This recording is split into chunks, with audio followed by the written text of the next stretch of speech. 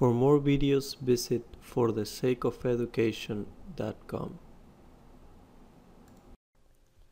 Alright guys, now we're gonna do these two problems which say the screw is subjected to two forces, express each one in a Cartesian vector form, then find, them, find the resultant force between the two, then find the magnitude and direction angles. Okay, let's break it down. First we're gonna work with the first force. Let's put them equal here.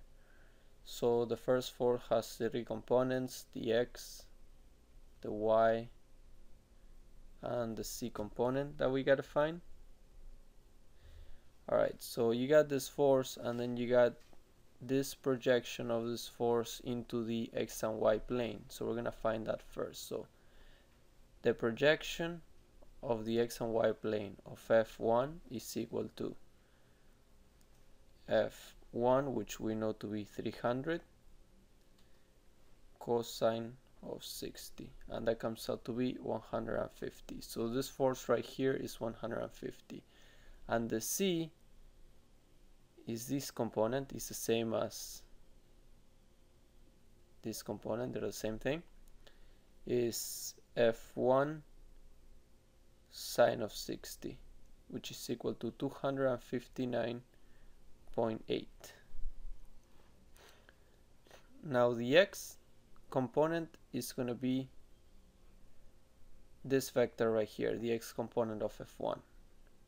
And it can easily be found by doing the x and y plane projection times the cosine of 45 which is equal to 106.1 actually this is the y.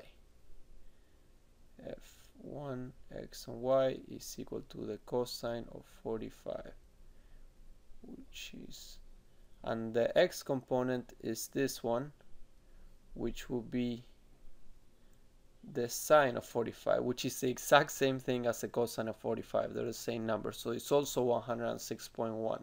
But the positive x-axis goes this way, and this one goes the opposite way, so it's a negative. So now we got f1, which is negative 106.1i plus 106.1j plus 259 0.8k.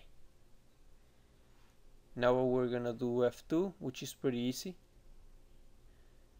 because F2 has an X component, a Y component, and a Z component, but we're given the direction angles, which makes it much easier. So in the X is F2 cosine of 60 So it's going to be f2 cosine of 60, which is equal to, have it right here, 250 now the y is going to be f2 cosine of 45 which is going to be equal to 353.55 and the last one is f2 cosine of 120 which is equal to negative 250 so f2 is equal to 250 i plus 353.55 j minus 250 k.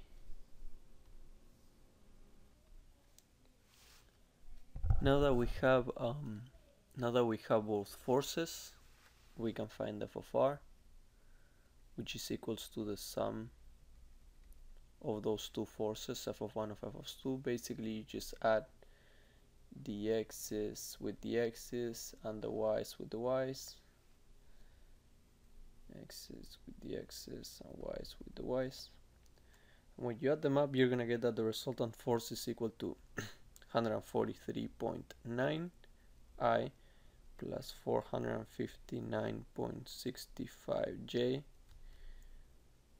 plus 9.8k. Now they're asking you for the direction angles of the resultant force and for that you're going to need to find the magnitude first.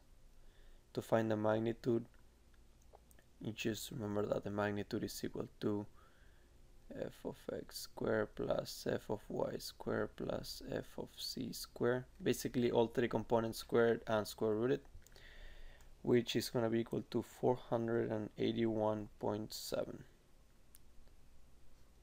that's for the magnitude of the resultant force. Now to find the directions, direction angles, which are these three,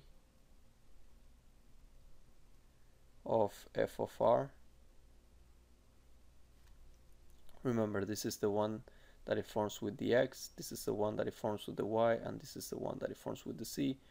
All you gotta do is the cosine inverse of the x component over f of r, which is why we found this number, which is this right here. So basically, for the first one, you divide the x component by f of r. For the second one, you divide the y component by f of r. And for the last one, you divide the c component by f of r. And you do the cosine inverse of that number, and it should give you the angles. The first angle is going to be 72.6 the second angle is going to be 17.4 and the third angle is going to be 88.83 degrees degrees degrees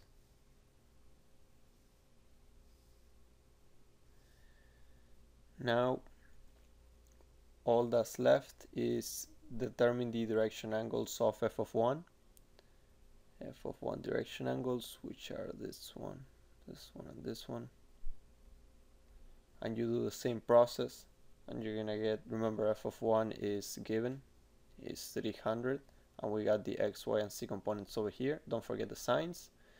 So you're gonna get that is equal to 110.7 69.29 and 30 degrees.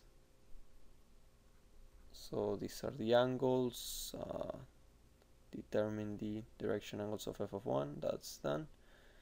Square subjected they want the Cartesian vector form of the two which are right here and right here then find the magnitude and direction angles of the resultant force. This is the magnitude and these are the direction angles.